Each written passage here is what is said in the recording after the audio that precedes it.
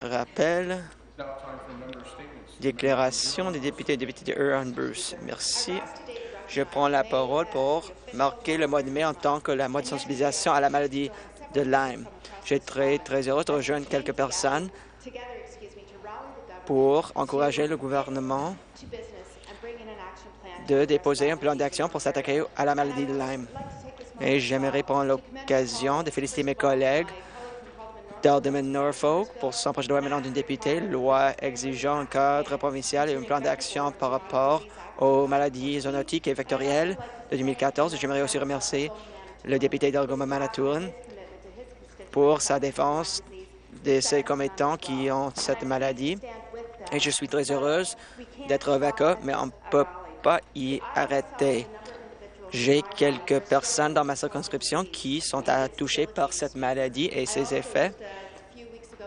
Il y a quelques semaines, j'ai assisté l'association des, trappeurs, des, euh, pêcheurs et des chasseurs de cette région. Il y a un homme qui a cette maladie. On ne peut pas ralentir, on a besoin d'un plan d'action. Bien que je reconnais que le gouvernement appuie d'aller de l'avant avec une stratégie pour cette maladie, j'aimerais avoir des délais pour qu'on puisse s'attaquer au problème de cette maladie qui entraîne autant d'effets néfastes pour des gens. J'aimerais vous dire aussi que j'ai demandé au gouvernement de mettre de côté les ancrages politiques et de mettre en œuvre une stratégie pour la province de l'Ontario, parce que c'est pour des gens comme Doris et Lynn et Julie et Marie et Joe.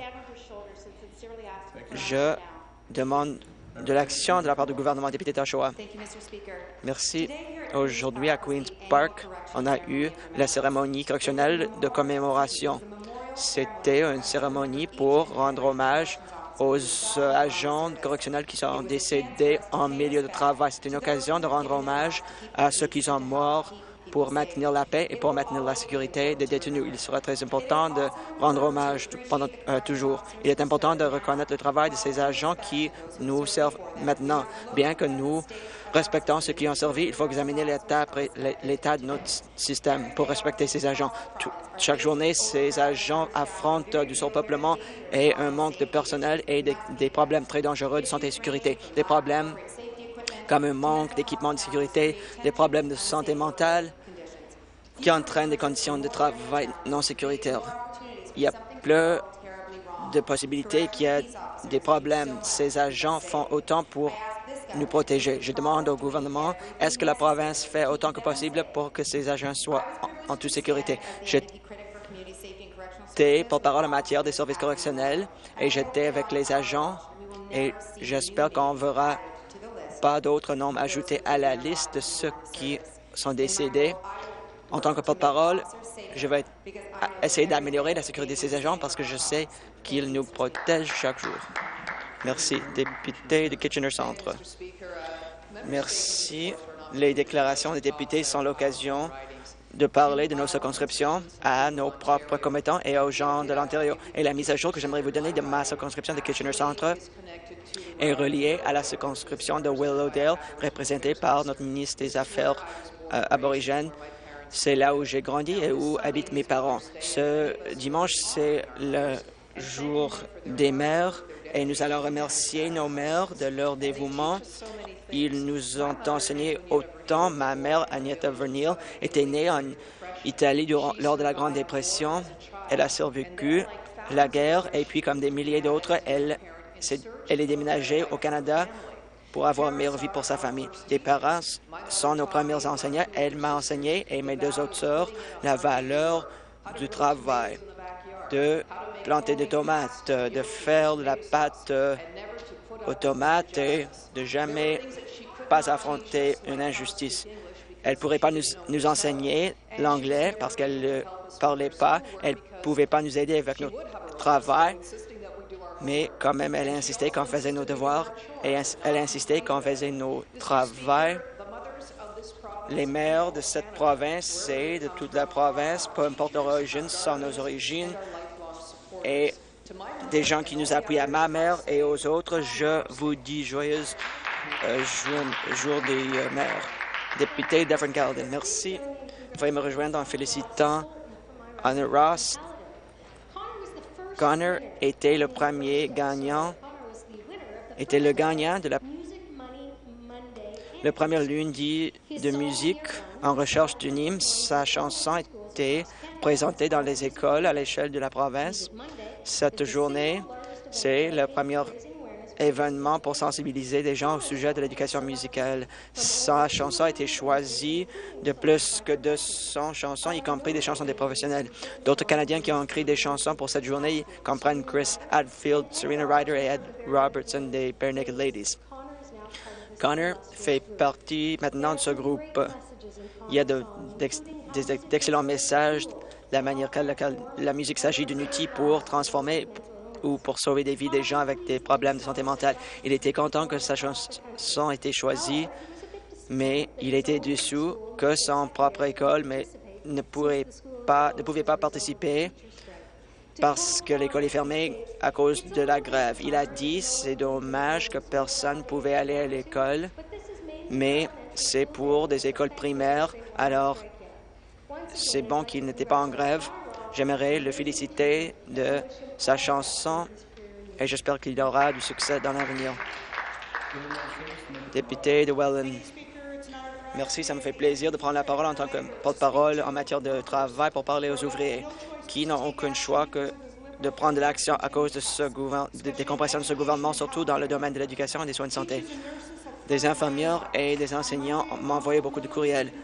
Lundi, presque un million d'enseignants seront touchés par les grèves la semaine prochaine à cause des compressions de, faites de la part de ce gouvernement. la ministre de l'Éducation a dit aujourd'hui qu'elle et les conseils scolaires n'étaient pas au courant de la situation avec la grève, mais ils ont reçu les détails il y a trois jours. Les commettants sont fâchés de la politique de ce gouvernement pour réduire la capacité des enseignants d'utiliser leurs compétences et d'enlever des plafonds pour des classes. Le gouvernement ne s'intéresse pas à ces problèmes dans ma circonscription de Welland. Les travailleurs de soins de santé, des infirmières, des, euh, membres de CEFPO ont, été en grève pendant un mois. Le CAS, qui s'occupe euh, des partenaires à but lucratif, n'a rien dit et le gouvernement non plus. Ils ne veulent pas qu'il y ait de la transparence pour ces agences à but lucratif pour lesquelles ces infirmières travaillent. Je l'ai soulevé trois fois déjà. Aujourd'hui, j'aimerais mettre l'accent sur les, difficultés de ces travailleurs qui n'ont aucun choix que d'aller en grève à cause des échecs de gouvernement. Député Dalton. Merci. Je suis heureuse de prendre la parole et de reconnaître deux organismes qui font euh, un excellent travail à Alton.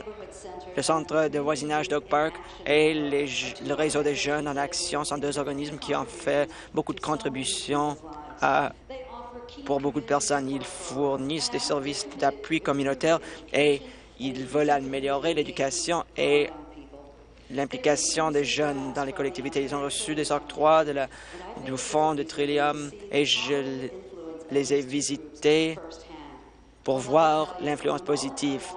Dès le début, c'était clair que ces octrois étaient très efficaces et ont permis à Oak Park de faire des renouvellements et, aussi à donner aux jeunes un réseau d'action et des ressources dont ils ont besoin pour élargir leur personnel et d'élaborer d'autres programmes. Lors de ma visite, j'ai pu visiter l'établissement d'Oak Park, de parler aux fonctionnaires des membres des équipes et même de participer au projet d'art. C'était excellent de voir les souris et je, savais à quel point c'était important pour eux de savoir qu'il y, a des gens qui s'occupent de... Lorsqu'on aide nos jeunes, nous sommes tous les, des gagnants. Je ne peux pas penser de, de groupes qui méritent plus ce financement. Je suis fier que le Fonds, le fonds de Trillium continue d'appuyer ces organismes communautaires. Merci beaucoup. Député de Thornhill.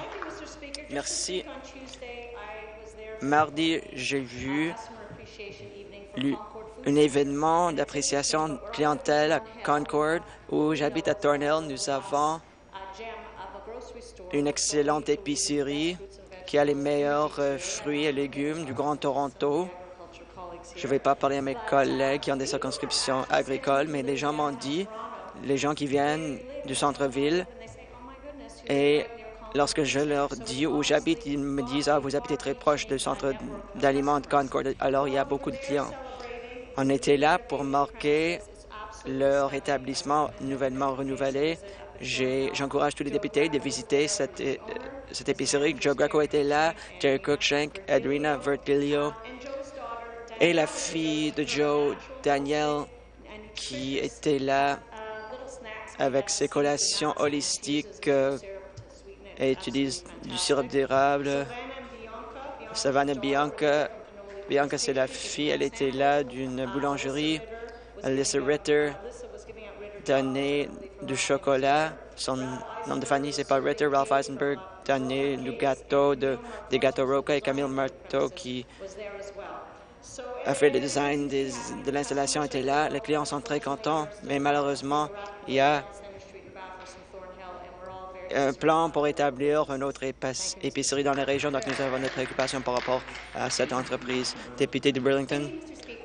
Merci. Le 2 mai, Burlington a marqué la journée d'amitié entre le Pays-Bas et le Canada. Nous avons comme une, collectivité euh, néerlandaise en 2010, l'ancien député de Kitchener-Waterloo, qui est d'origine néerlandaise, a déposé un projet de loi des députés en proclamant le mois de mai en tant que mois de patrimoine néerlandais. Nous, nous avons souhaité la bienvenue à Elizabeth Whitmer le samedi dernier. C'était un événement tout à fait excellent parce que nous avons marqué le 70e anniversaire de la libération du Pays-Bas des, par des soldats canadiens. Mon père faisait partie de ce régiment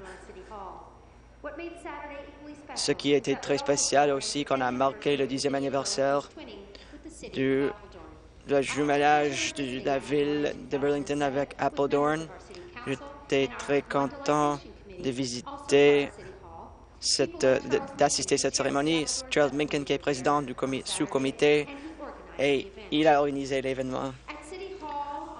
à l'hôtel de ville, nous avons eu des performances d'un groupe euh, qui venait du Pays-Bas, le groupe euh, d'une école primaire.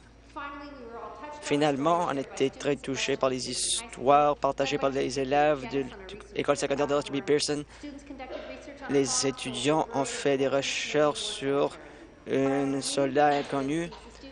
Les élèves partagent cette histoire qui est puis partagée dans une collection permanente. C'était une excellente célébration. J'aimerais remercier tous ceux qui ont organisé cette journée. Je vous dis donc, euh, député de Cambridge. Merci. Aujourd'hui, je prends la parole en tant que député du gouvernement de la région de Waterloo pour parler d'une entreprise informatique de la région. BlackBerry, c'est un excellent exemple d'une histoire de succès de, de la province. Ils sont des c'est une entreprise innovatrice qui engage plus que 4 500 travailleurs à l'échelle de la province. Beaucoup de ces travailleurs habitent euh, dans la région de Waterloo et chez moi à Cambridge. BlackBerry est renommé à l'échelle du monde et ça doit être renommé. En tant que leader de ce secteur, leurs logiciels sont excellents. BlackBerry est chef de file euh, du secteur informatique et le boom qui s'est produit dans la région de Waterloo qui est euh, au bénéfice de l'économie de cette région et au bénéfice de l'économie ontarienne. C'est l'une des raisons pourquoi le gouvernement de l'Ontario a été parmi les plus grands acheteurs des produits de BlackBerry du monde et je suis très fier de ce fait depuis la création de ces appareils, je, n'ai jamais utilisé qu'une BlackBerry, je ne vais jamais utiliser un autre appareil. Je peux vous dire avec confiance que j'en ai trois. J'encourage les députés de la région de Waterloo d'éviter les messages négatifs qui dénigrent cette entreprise. J'aimerais qu'ils parlent avec fierté de, de BlackBerry qui continue de contribuer à nos collectivités. Merci.